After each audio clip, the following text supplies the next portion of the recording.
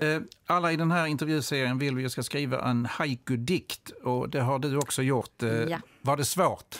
Ja, lite knepigt. Jag är ingen poet direkt, men man får ju tänka till lite och så ska man ju få till det bra. Så att jag hoppas att jag har gjort rätt. Ja, Fick du hjälp?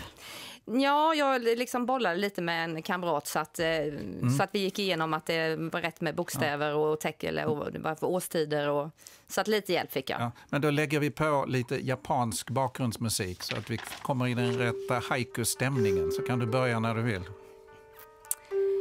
Blåsippan är vårens tecken.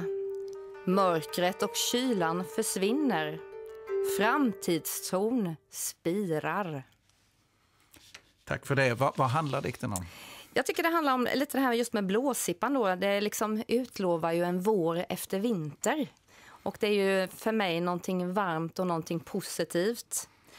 Och eh, mörkret och kylan försvinner vill jag ju liksom associera lite till att de andra partierna då försvinner eller går tillbaka liksom när, när blåsippan kommer. Och framtidstron spirar, det, det är liksom hoppet om framtiden och allt det här. Så- Men hur ser din framtid ut för Europa? För det här har ju också med din syn på EU att göra. Hur ser sambandet